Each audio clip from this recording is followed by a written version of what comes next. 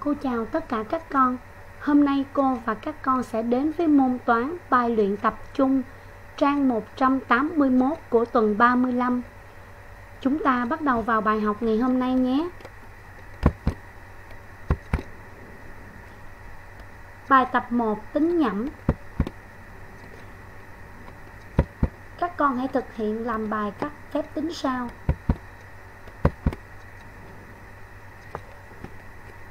Đối với bài phép tính có hai phép tính nhân và chia, các con hãy tính lần lượt từ trái sang phải nhé.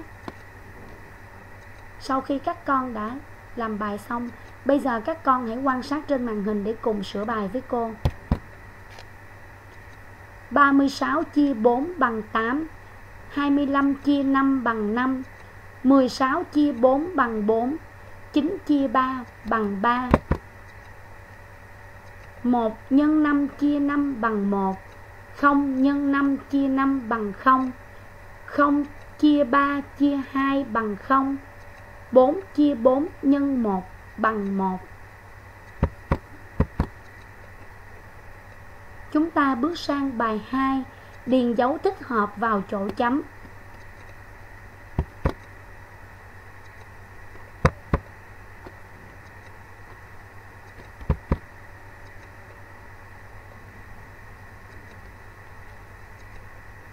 Sau khi các con đã làm bài xong, các con hãy quan sát trên màn hình để sửa bài cùng cô. 482 lớn hơn 480. Đối với bài 1000 so sánh với lại 600 cộng 400, các con hãy tính giá trị vế có phép tính. Sau đó, các con sẽ so sánh các cặp chữ số cùng hàng theo thứ tự từ trái sang phải, rồi điền dấu thích hợp vào chỗ chấm nhé. Như vậy cô có kết quả như sau. 1.000 bằng 600 cộng 400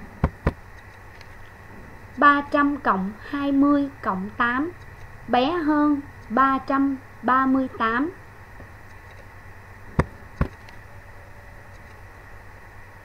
Bài tập 3 Đặc tính rồi tính. Các con hãy thực hiện làm bài 4 phép tính vào vở. Chúng ta bắt đầu sửa bài các con nhé. 602 cộng 35 bằng 637 347 trừ 37 bằng 310 323 cộng 6 bằng 329 538 trừ 4 bằng 534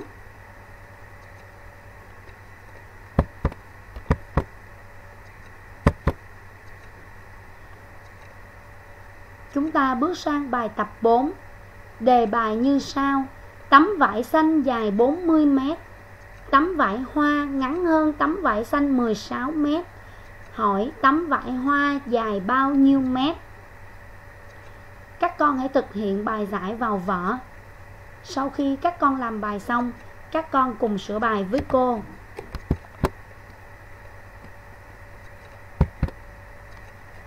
Bài giải, Số mét vải tấm vải hoa dài là 40 trừ 16 bằng 24 mét.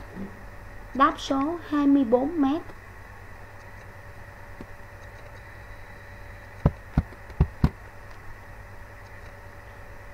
Chúng ta bước sang bài tập số 5 Các con hãy đo độ dài các cạnh của hình tam giác Rồi tính chu vi hình tam giác đó.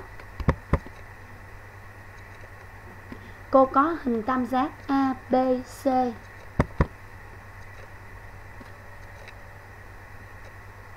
Sau khi đo, cô có độ dài các cạnh của hình tam giác như sau. Cạnh AB 4cm, cạnh BC 3cm, cạnh AC 4cm. Như vậy, muốn tính được chu vi hình tam giác, các con sẽ tính tổng độ dài ba cạnh của hình tam giác đó. Các con hãy cùng theo dõi bài giải của cô cô có bài giải như sau. Chu vi hình tam giác ABC là 4 cộng 4 cộng 3 bằng 11 cm. Đáp số 11 cm. Các con ơi, bài tập số 5 đã kết thúc bài học ngày hôm nay của chúng ta. Nếu còn thời gian, các con hãy thực hiện các phép tính còn lại của bài ngày hôm nay nhé. Cô chúc các con luôn chăm ngoan và học giỏi. Cô hẹn gặp lại các con trong bài học sau. Cô chào tất cả các con.